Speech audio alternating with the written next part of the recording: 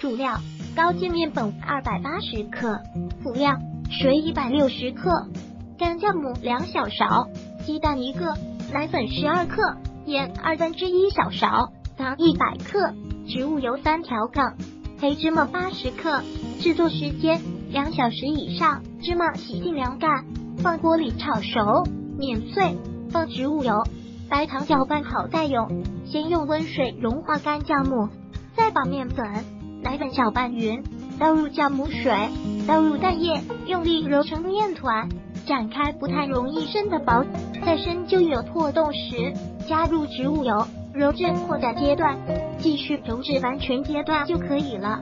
把面团放入大盆，盖上保鲜膜，进行发酵。当面团发酵至原来的二二点五倍大，挤出空气，分成十二等分，用手整理成圆形，醒发十五分钟。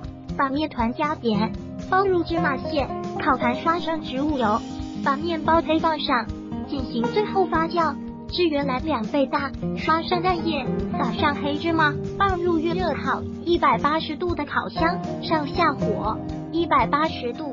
烤十四分钟左右即可。烹饪技巧：最后一次发酵大约需要四十分钟，个人的烤箱温度不一样，自己掌握。如果喜欢本视频，请分享并订阅本频道。